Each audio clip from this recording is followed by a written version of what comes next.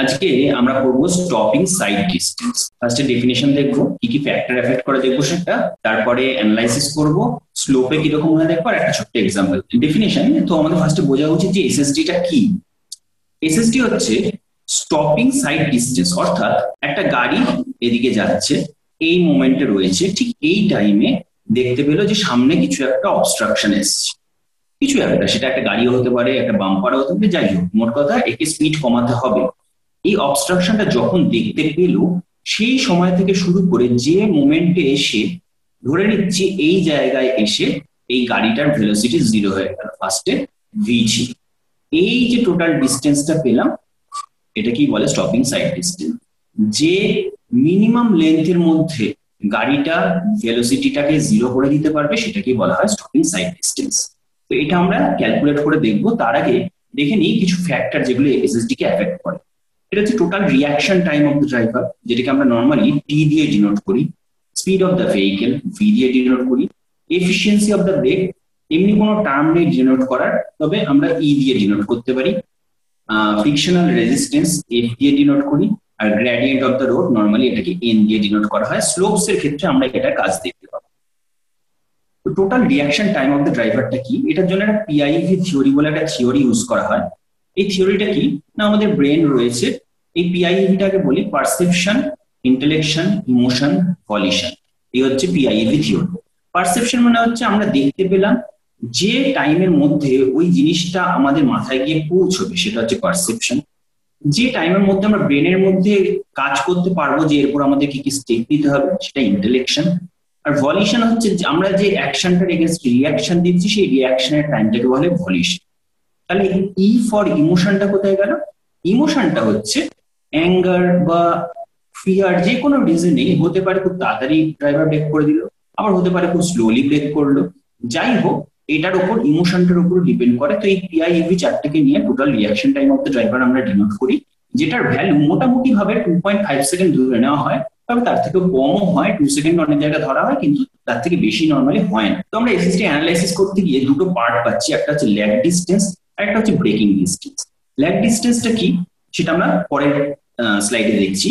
ধরে নিচ্ছি, এখানে ড্রাইভারটা রয়েছে এইখানে তার ভেলোসিটি ভি ছিল, এখানে সে দেখতে পেয়েছে, কিন্তু সাথে সাথে সে ব্রেক অ্যাপ্লাই করেনি। যতক্ষণ না সে ব্রেক অ্যাপ্লাই করেনি, ধরে নিচ্ছি এই পজিশনটা অব্দি এখানেও কিন্তু তার ভেলোসিটি ভি কারণ ব্রেক অ্যাপ্লাই করেনি। সুতরাং এই কিছুটা জায়গা সে অলরেডি এগিয়ে গেছে। এটাকে আমরা ল্যাগ ডিস্টেন্স। এটা আমরা কি করে বার করব?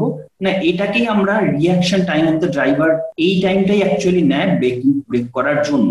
তো এখানে যদি ভেলোসিটি ভি থাকে আর রিয়াকশন টাইম যদি টি হয়, তাহলে অটোমেটিক্যালি ডিস্টেন্স ভিটি হবে, এটা খুব স্বাভাবিক। কিন্তু আমাদের নর্মালি ভিটা দেওয়া থাকে কিলোমিটার পার আওয়ারে কিন্তু আমরা যে ডিস্টেন্সটা পাবো, সেটা হবে মিটারে সেই জন্য আমরা একটা ছোট্ট কনভার্সন করে নেব যে D one is equal to V into P এটা তো ঠিক আছে তার সাথে একটা হাজার দিয়ে গুণ করব আর থ্রি সিক্স ডবল জিরো মানে সিক্সটি ইন্টু সিক্সটি দিয়ে ভাগ করে দেবো। এই ভ্যালুটা zero point two seven eight V T আসবে। এটা আশা করি খুব একটা কঠিন কিছু না, এটা সবার কাছে ক্লিয়ার হওয়া উচিত। এরপরে যে জিনিসটা আসছে, সেটা হচ্ছে ব্রেকিং ডিস্টেন্স ব্রেকিং ডিস্টেন্সের জন্য আমরা কি করব? না কাইনেটিক এনার্জি অর্থাৎ হাফ এম ভি স্কোয়ার এটাকে আমরা ইকুয়াল করব, তার আগে আমরা হাফ এম ভি স্কোয়ারটাকে আমরা দেখে নিচ্ছি। যে এমটাকে আমরা লিখতে পারি ডাব্লু বাই জি হাফের জন্য টুটা নিচে থাকলে ভি স্কোয়ারটা ওপরে ঠিক আছে? আর এটার সাথে আমরা যে ইকুয়াল করব, সেটা হচ্ছে কতটা ওয়ার্ক ডান হচ্ছে। ওয়ার্ক ডানের ফর্মুলা কি? না এফ ইন্টু এল এই এফ এর ভ্যালুটা আমরা কত লিখতে পারি? না W into coefficient of friction into L তার মানে এখান থেকে খুব সহজেই আমরা পেয়ে যাচ্ছি এল ইজ ইকাল টু এখানে ডাব্লু আর ডাব্লু কেটে যাচ্ছে V square by two G F ঠিক সেম প্রসেসে যেহেতু ভিটা আগের বার যেরকম করলাম ভিটা আমাদের কিলোমিটার পার আওয়ারে আছে, আর আমাদের এখানে ব্রেকিং ডিস্টেন্স মানে ডি টু দিয়ে ডিনোট করছে, এটা যেহেতু আমাদের মিটারে দরকার, ওই জন্য অটোমেটিক্যালি আগের বার zero point two seven eight ছিল, এবার zero point two seven eight V whole square by two G F এই টু জি জি এর ভ্যালুটা যদি নাইন পয়েন্ট এইট ওয়ান ধরে নেওয়া হয়, তাহলে এই পুরো ভ্যালুটা আসে V square by two fifty four F তার মানে আমাদের টোটাল যে ডি এর ভ্যালুটা বেরোলো D is equal to zero point two seven eight plus V square by two fifty four F এটাই হচ্ছে আমাদের actual formula stopping sight distance তো আমরা এখানে এসএসডি আর স্লোপসটা দেখে নিচ্ছি। এই এসএসডি আর স্লোপস এর জন্য আমাদের যেটা করতে হবে, সেটা হচ্ছে ঠিক আগের পেজটার মতোই আমরা সেম ইকুয়েট করব। হাফ এম ভি স্কোয়ার মানে কানেটিক এনার্জি আর এখানে ডব্লিউ এফ এল এফটাকে আমি যেহেতু অ্যাসেন্ডিং স্লোপ ধরছি, তাই F by plus nine N by hundred দিয়ে ইয়ে করি যোগ করছি। এন পার্সেন্ট অ্যাসেন্ডিং ঠিকভাবে যদি ডিসেন্ডিং হতো এখানে মাইনাস করতাম, তাতে যা ভ্যালু আসতো সেটাই অ্যাকচুয়াল ক্যালকুলেশন আসবে তো এখানে আমরা লিখতে পারি W V square by two G is equal to W L by F plus N by hundred same ভাবে এখানে আগের বারের মতোই ডাব্লিউ ডাব্লিউ কেটে দিচ্ছি। তাহলে এল এর ভ্যালু আমাদের বেরিয়ে যাচ্ছে V square by two G নিচে এটা F plus N by hundred এই হচ্ছে আমাদের স্লোপস এর ক্ষেত্রে ফর্মুলা শুধু লাস্টে আমি এখানে প্লাস মাইনাস লিখে দিচ্ছি, কারণ এটা অ্যাসেন্ডিং হবে না ডিসেন্ডিং হবে, সেটার উপর ডিপেন্ড করবে। ওকে তো আমরা একটা ছোট একটা এক্সাম্পল দেখে নিচ্ছি। কিছুই দেওয়া নেই এখানে।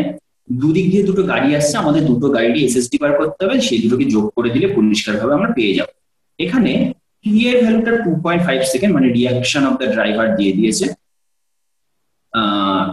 এখানে ভি ওয়ান দিয়েছে নাইনটি আমি কিলোমিটার পার আওয়ারটা লিখলাম না ভি টু দিয়েছে সিক্সটি আর এখানে এফ দিয়েছে জিরো পয়েন্ট সেভেন কিন্তু আবার এফিসিয়েন্সি দিয়ে দিয়েছে জিরো পয়েন্ট ফাইভ মানে এই যে ফিফটি পার্সেন্ট তো এখান থেকে আমরা ডি ওয়ানের ভ্যালু আমরা যদি এফেক্টিভ এফিসিয়েন্সি বার করতে হবে, আমাদের যেহেতু এফিসিয়েন্সিটা দিয়ে দিয়েছে সেখান থেকে আমরা পাচ্ছি জিরো পয়েন্ট থ্রি ফাইভ হচ্ছে অ্যাকচুয়াল যে আমাদের ক্যালকুলেশনের যে কোভিশন অফ ফ্রিকশন সেটা জিরো পয়েন্ট থ্রি ফাইভটা পাচ্ছি। যেটা এফেক্টিভ ফ্রিকশন অফ কোভিশন তো ডি ওয়ান এখানে ভ্যালুটা কি ছিল? Zero point two seven eight into ninety into two point five plus V square হচ্ছে ninety square by two fifty four এর সাথে গুণ হবে জিরো পয়েন্ট থ্রি ফাইভ এই ভ্যালুটা আমাদের আসবে one fifty three point six same ভাবে এটা মিটারে আসছে হ্যাঁ? যেহেতু আমরা কনভার্সন ফ্যাক্টরটা আগেই ক্যালকুলেট করে নিয়েছি। সেম ভাবে ডি টুটা আসবে eighty two point two metre তার মানে আমাদের টোটাল যে ডিটা আসবে, বা এসএসডি বলতে পারি আমরা, সেটা হচ্ছে two thirty five point eight which is almost equal to thirty six metre